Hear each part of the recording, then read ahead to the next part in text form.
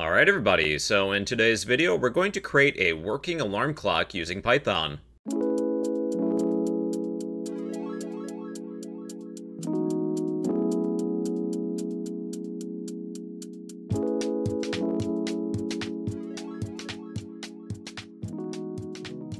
For this project, we will need the following imports.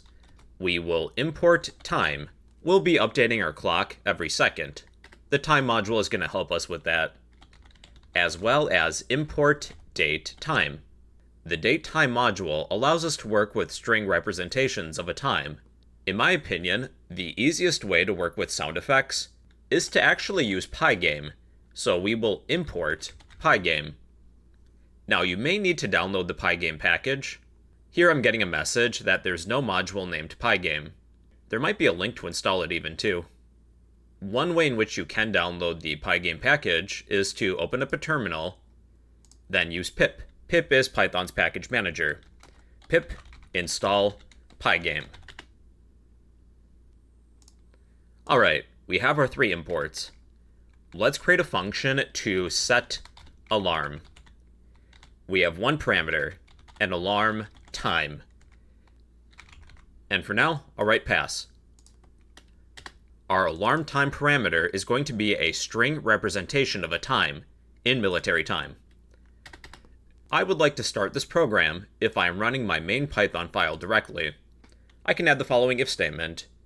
If dunder name is equal to a string of dunder main. If we are running this main Python file directly, then we will set the alarm. But first, we have to prompt the user what they would like to set the alarm to.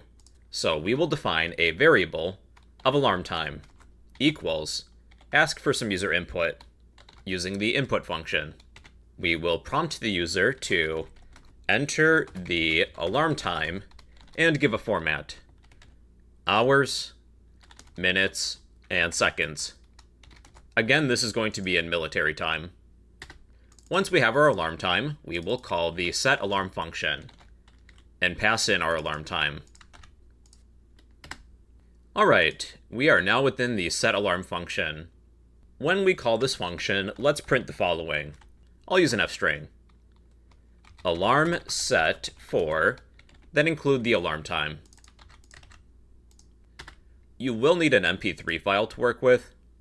If you don't have one available, here's one recommendation. You could use YouTube's audio library, and then search for sound effects or some music. These audio files are only allowed for non-commercial use outside of YouTube. So you can search for a song or some sound effects, find one that you like, and download it. Once you find a song that you like, move it to your project folder. Now, I will create a variable of sound file equals. This will be a relative or absolute file path. My MP3 file is right next to my main Python file, I only need to list the file name. I named mine My Music, and this is an MP3 file. I'm going to perform a test run. We're not going to play our sound quite yet. We do have this output that displays that says hello from the Pygame community. Let's say I set my alarm to 9 a.m. Then enter, alarm set for 9 a.m. If you would like to suppress this output for Pygame, we can navigate to our virtual environment, go to library, pygame underneath this file named dunder init. Let's scroll all the way to the bottom. And we should have this if statement. We display the version of Pygame we're using, and a print statement of hello from the Pygame community. We could comment this out, or even just delete it. That is the most simple solution. So we shouldn't get that message anymore we're going to create a boolean variable of is running. Is our alarm clock running? I will set that to be true. While is running, while this is true, we will continue the alarm clock. We need to get the current time.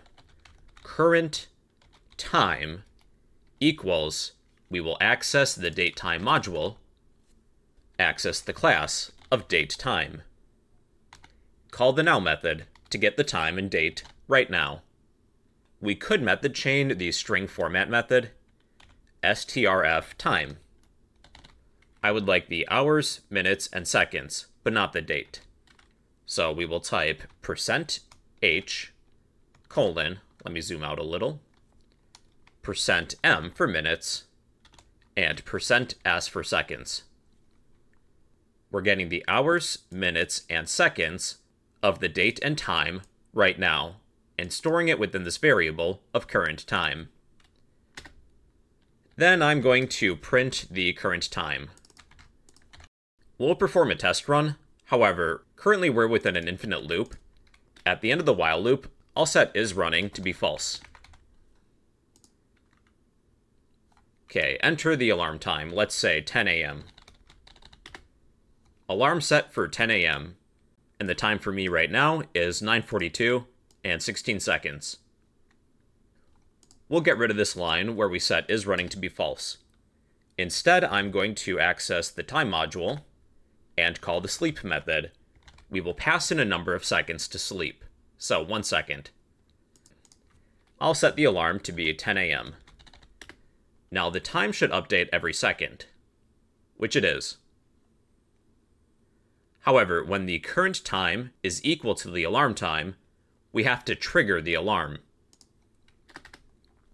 So after printing the current time, we will write an if statement to check if the current time is equal to the alarm time. If this is true, then let's print the following. Wake up. And I'll add an emoji, because it's silly. Once our alarm triggers, we will set is running to be false within this if statement. Let's do a test run. We're not going to play the sound quite yet. I will set the alarm to 9.45. And then I'll come back a little bit later. Alright. Once the current time matches the alarm time, we print wake up and set is running to be false to exit the while loop, and then subsequently exiting the program. Now we need to play an MP3 file. We will access our package of Pygame, access the module of Mixer. So Mixer is a module for loading and playing sounds, but we have to initialize it but we're going to initialize it with init to initialize. The initialize method is another way to call the constructor. We can pass in some keyword arguments for the frequency, size, channels, buffer, all that, but that might be a little too complicated for us at this level. We'll use the default settings by not passing in anything. The next step is to load our sound file, access the package of Pygame, access the module of Mixer, access the module of music, then call the load method. We will load our sound file. Our sound file contains the file path to our MP3 file. Once we load our music, we have to play it. pygame.mixer.music called the play method. Our MP3 file is only going to play for a brief second. I'll demonstrate that. I will set the alarm to 949 and just give it a few seconds.